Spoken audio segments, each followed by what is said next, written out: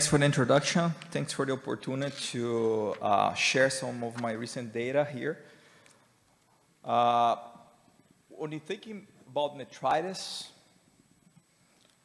we are dealing with acute systemic illness that's caused by pathogens, and it generally will occur in the first 10 days postpartum, and will be characterized clinically by a reddish to brownish, fetid, watery uterine discharge that's usually accompanied of fever and other clinical signs.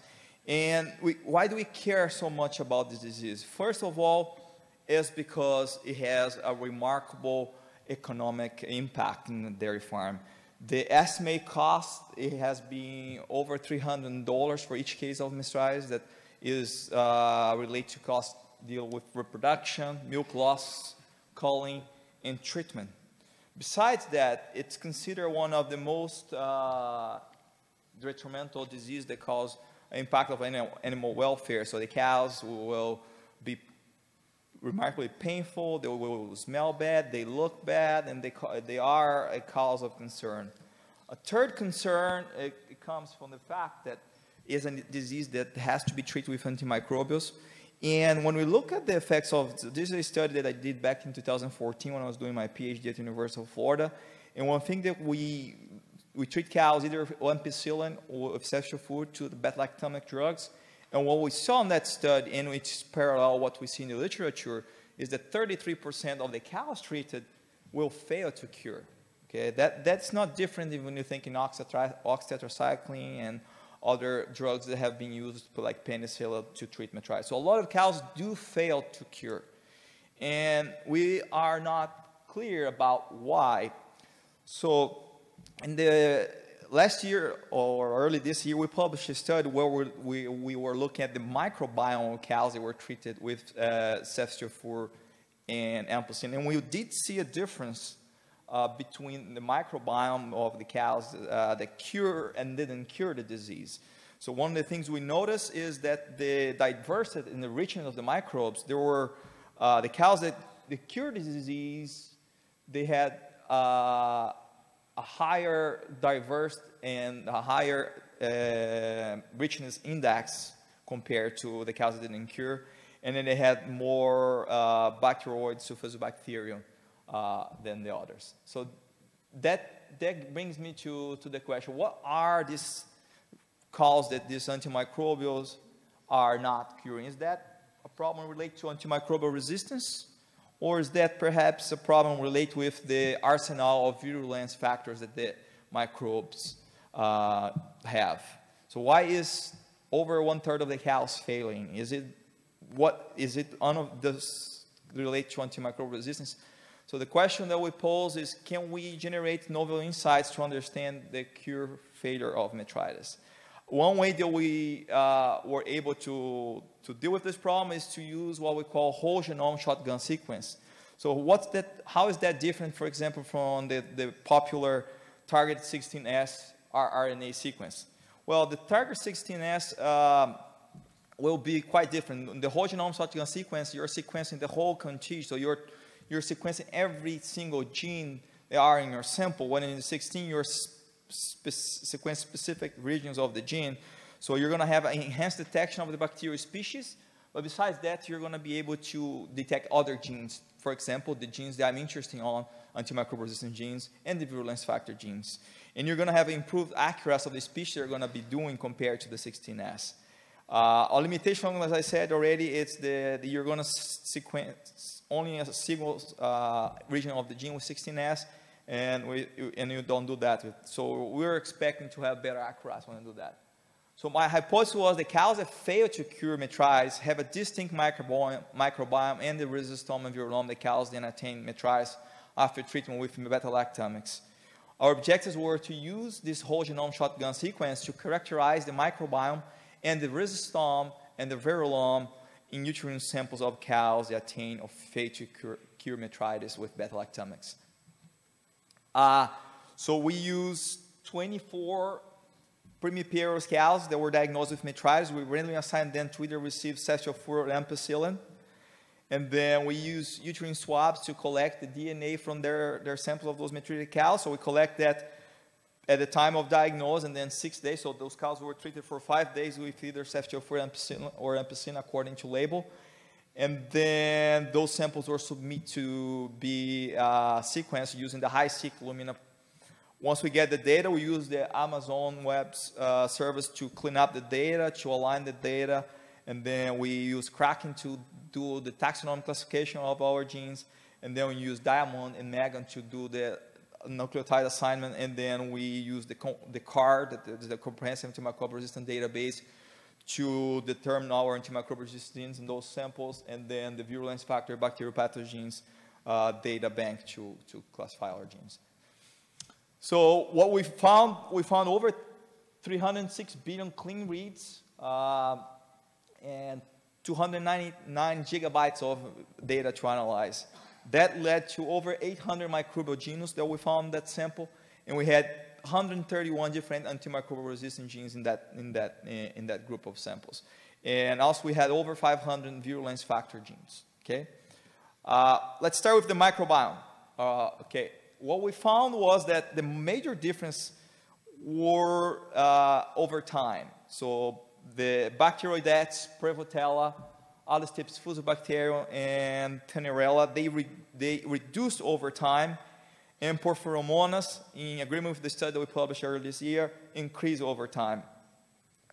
But as expected, we didn't find much difference between ampicillin and ceftiofur. They are both beta-lactamics, so the changes they cause in the, the microbiome, they uh, were similar. Uh, the second part was cure. That was one of the things we were very interesting on. And what we were able to see is that the cows that cure, they had higher incidence of strep, uh, relative abundance of streptococcus than the cows that didn't cure. Uh, we did what we call, this is a composite data analysis, so we want to, like each data point represent the whole population of microbes of each cow. So this is between the two antimicrobials as expected, they didn't differ. Uh, nor the, but they all as expected, so you had cows that uh, were before treatment, after treatment, obviously the antimicrobial did affect the, the population of microbes in there, and we see that the data was different between the two groups. And the same thing we saw for, for cure, as, as we show with the streptococcus a species, when we look at the whole cure thing and agreeing with our previous study, there was a difference in the microbiome, the whole overall microbiome, those cows that cure from the cows that didn't cure. And some of the players were Fusobacterium and Mycoplasma that participated of that whole. The resistome, the, the, the genes relate to antimicrobial resistance. So they were predominantly dominated by tetracycline, which is the trend like most of the studies done with food animals. That's where you're going to see most of the antimicrobial resistance animals are tetracycline. That's very common, followed by aminoglycosides and beta-lactams. But I think what I want to point out in this figure here is that they are quite consistent across our cows that cure and didn't cure before and after. So we didn't see striking differences. Uh, we look at the like at the mechanism of those antimicrobials, and the most common one was the target protection for antibiotics, followed by the antibiotic efflux. And once again, what I want to point out here is that there were no striking difference between our cows that cure and the ones that did not cure from metritis. Uh, and then we look at the relative abundance. Uh, over time, tetra, this TAT, T, and W, they were increased. So the cows that, uh, and then when we look at the cure effect, only there was only a time effect. We couldn't find a difference for antimicrobial between the ones that cure and didn't cure. Uh, when we did that analysis, the discriminant analysis, they, it, it together all the data. We didn't see an effect of treatment, nor uh, effect of antimicrobial type, nor an effect on cure. They're, they were all similar. Uh, what we looked to was the, also the abundance and the richness and the diversity. So how many of those genes were and for antimicrobial resistant genes, unfortunately, we were unable to find any difference between the animals that cure and didn't cure. Wasn't our uh, major characteristic that was perhaps leading to cure or failure to cure fermetritis. We did this correlation analysis that we were uh, plotting our richness of antimicrobial resistance genes against the, the, the bacterial genes. Uh, and the, the line for the animals that cure and uncured was pretty much flat. There was no much difference between the two. Then we look at the virulence factor genes, the genes that are the arsenal of uh, ways on which the pathogens can subvert the host immune response and cause disease.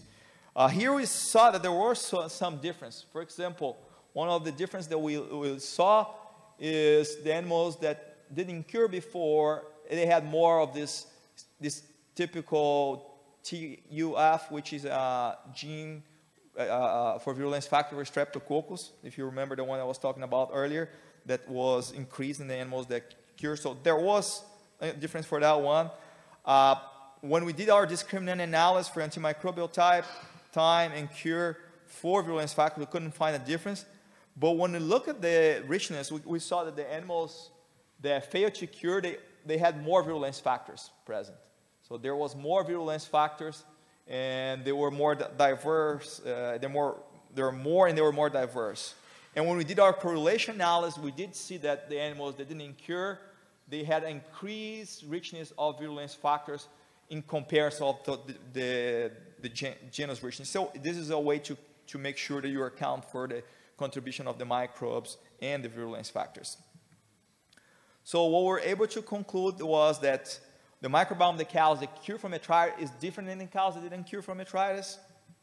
The uterine resistome was dominated by tetracycline-resistant genes, and the, the resistome chains were restricted to few of these antimicrobial resistant genes over time. But it was not influenced by cure, so cure was not a big factor for the antimicrobial resistant genes. Uh, we found no difference in antimicrobial resistance, abundance, richness, and diversity, and nor for class were found between the cows in failure or attain cure. For the virulence factors, though, we did find some difference in abundance, and we saw that the uterine virulome revealed that cows that failed to cure from the disease have greater richness of virulence factor for the same microbial taxa than the herd mates that attain a cure. Uh, taken together, this data suggests that the virulence of strain of the microbes are pivotal for the metritis prognosis after treatment. They are more important, seems like, than the antimicrobial resistant genes. I would like to thank the USDA that fund, Hatch that fund this, this study, Stone Ridge Dairy Farm that allowed me to conclude the study, and the College of Veterinary Medicine, University of Illinois that uh, has uh, provided funds for my ICR that allowed me to conduct part of this study as well. With that, I'll be happy to entertain any question. Thank you very much.